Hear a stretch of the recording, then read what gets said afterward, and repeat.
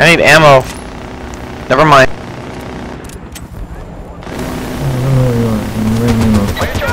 There's ammo kits over by us. I died anyway.